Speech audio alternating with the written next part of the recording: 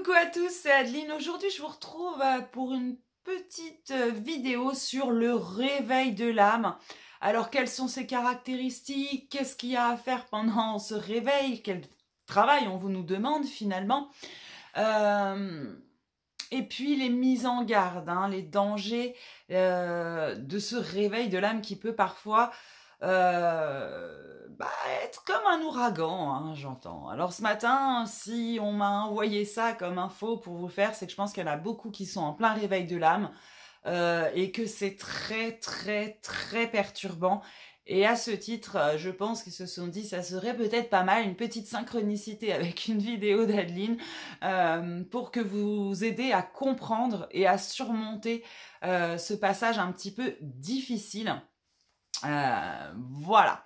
Donc dans un premier temps, nous allons voir quelles en sont les caractéristiques de ce réveil de l'âme.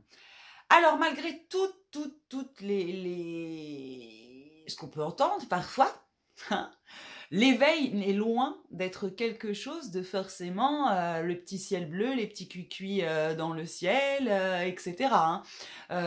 ça passe souvent par une période extrêmement inconfortable euh, pendant laquelle on a une perte de repère, une voilà la limite euh, de la dépression, hein, on va dire, la limite. En fait, ça va se traduire finalement comme une fissure hein, à l'intérieur de nous. Et on va avoir cette impression de stérilité, de vide euh, dans notre vie. Finalement, c'est un peu comme si votre cœur était à l'automne.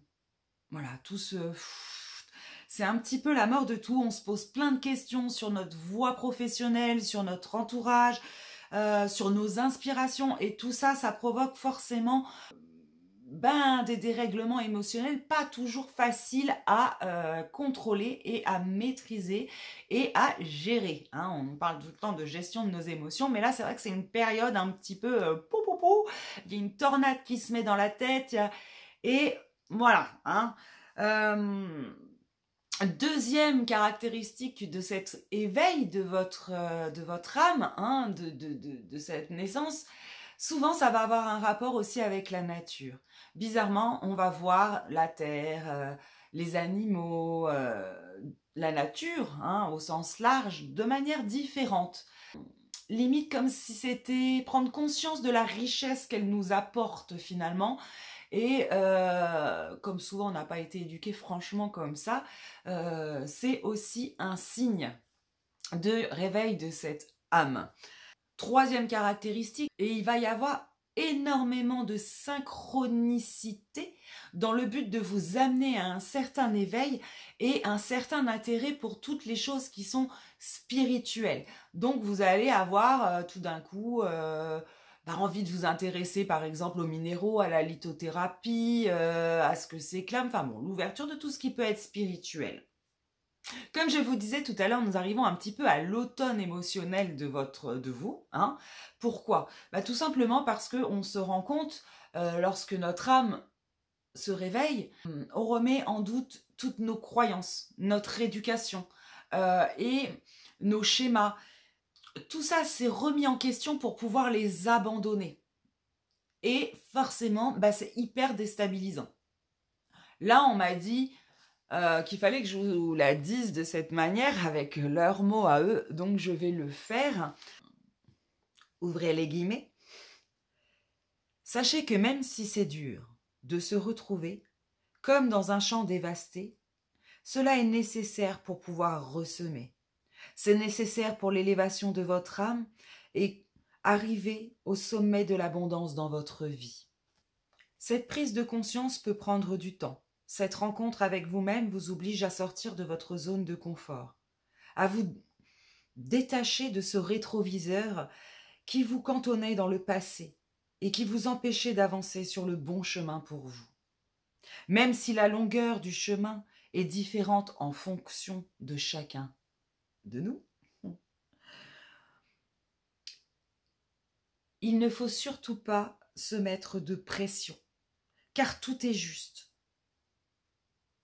Durant cette période, nous, les guides, nous vous protégeons et sommes très présents par nos synchronicités visant à vous rassurer et à vous montrer le chemin pour cette rencontre magique d'amour inconditionnel avec vous-même et avec le grand tout. Ainsi vous comprendrez que peut-être les événements malchanceux de votre vie avaient un sens et que finalement c'était une chance pour vous mettre sur la bonne voie. Voilà. Alors, pour cette deuxième partie, ils ont eu envie de nous mettre aussi en garde et nous faire comprendre certaines choses par rapport euh, bah, justement à cet éveil. Je vais donc reprendre leur mot. Je suis désolée, mais j'ai peur soit d'oublier, soit de modifier le message. Je préfère vous le sortir euh, tel quel. Et euh, donc, je lis ce qui m'a été inspiré. L'éveil n'est pas qu'une partie de plaisir, que des petits nuages dans le ciel bleu. Avant d'arriver aux festivités, il y a un travail à faire, un long travail sur soi-même, afin de trouver l'abondance que chacun en lui. Et en général, cela nous fait passer par une période de repli, un peu comme un ours qui hiberne. Il faut donc faire attention de ne pas tomber dans une sorte de déprime émotionnelle. Là, il parle de dépression. Ils vous mettent également en garde sur l'ancrage. Car à cette période où l'on commence à s'intéresser à la spiritualité, on peut facilement se perdre la tête dans les nuages. Or, tout est une question d'équilibre pour être constructif et réussite.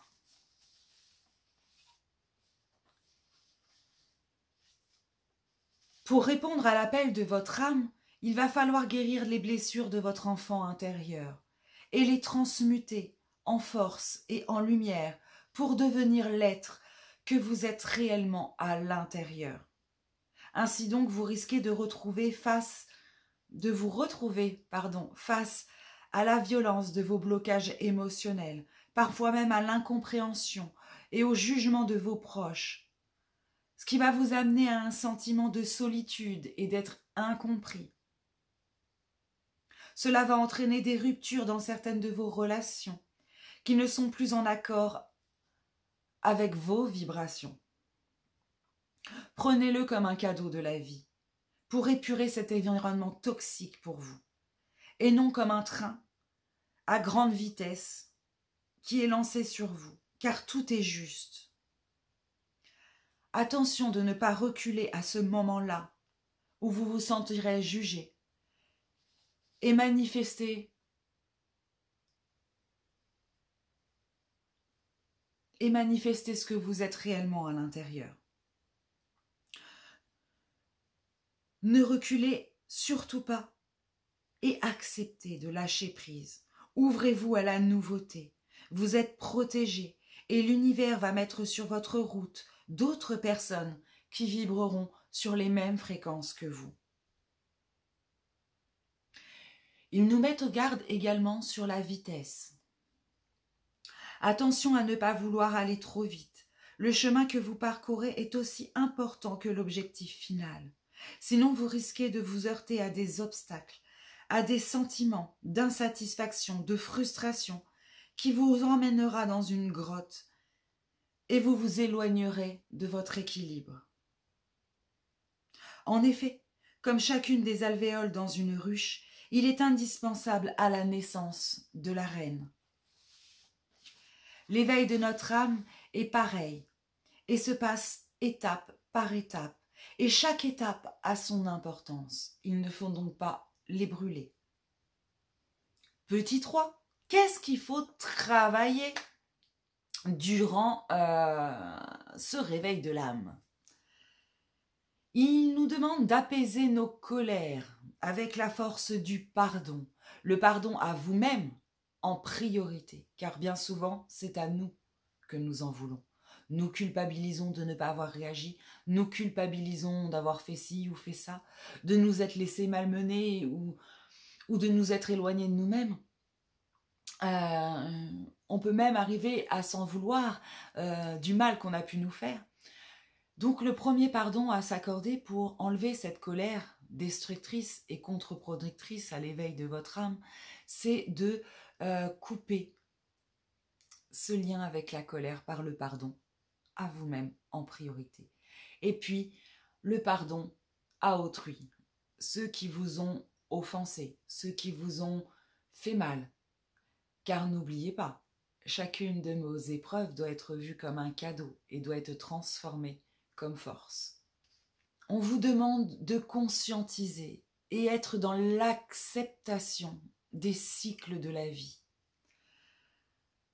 En effet, il y a plusieurs différents cycles et il faut accepter pour ouvrir un nouveau cycle, un cycle, pardon, que le précédent se termine et de laisser parfois partir des personnes et de laisser parfois partir un travail.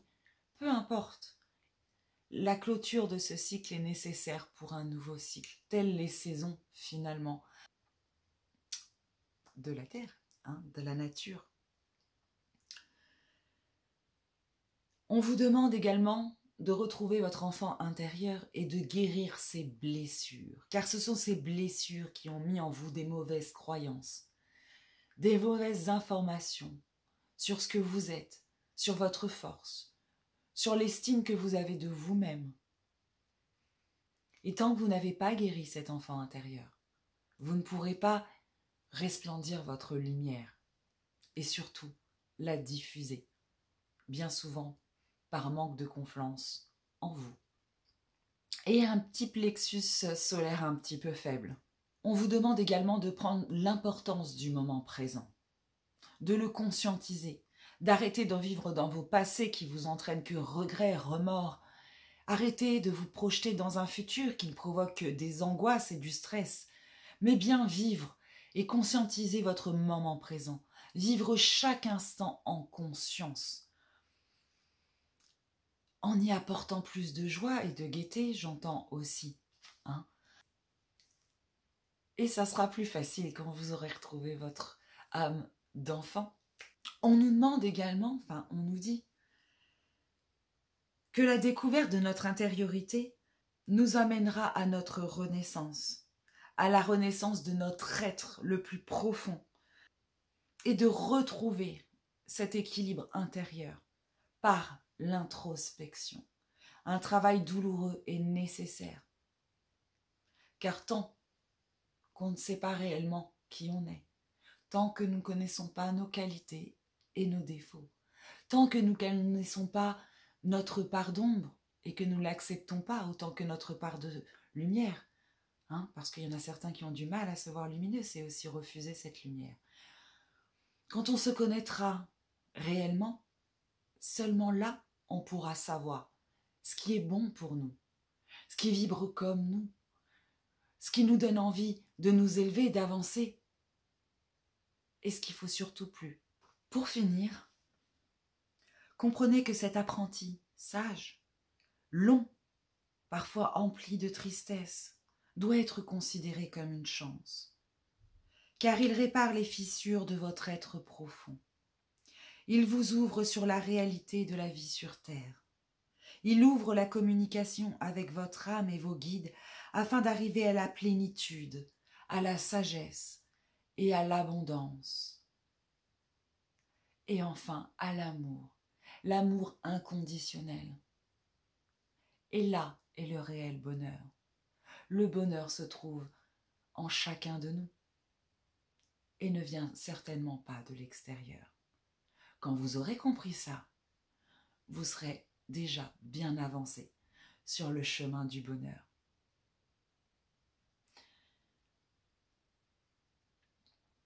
Si vous avez des doutes pour cela, il suffit de regarder nos enfants, la façon dont on les éduque, et donc comparer peut-être avec ce qui se passe pour d'autres enfants à l'autre bout du monde. Quand on observe et qu'on voit qu'à l'autre bout du monde, on voit des enfants sourire, avoir de la joie dans les yeux et dans le cœur, parce qu'ils se sont trouvés un carton, hein, pour faire des glissades dans la boue, par exemple, alors qu'ils crèvent de faim, alors qu'ils n'ont pas d'eau potable, alors qu'ils ne peuvent pas se laver, alors que peut-être ils vivent avec euh, la guerre que les droits, leurs droits ne sont pas ceux des nôtres, et qui arrivent toujours à sourire, et à vous accueillir avec bonheur et joie de vivre. Regardons maintenant nos enfants. Nos enfants qui sont dans la satisfaction permanente, j'ai envie de dire. Ils ont tout, ils ont tout.